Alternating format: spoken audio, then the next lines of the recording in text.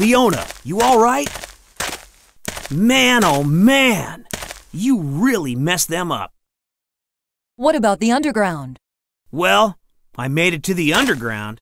I did find a research lab, but every shred of evidence had been removed.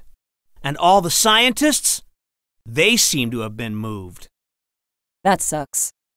So tell me, what do you think they're up to anyway? To the faraway Sea of Stars. What? He said he was embarking on the Sea of Stars. Sea of Stars? They want to go on a trip into outer space? Returning to HQ.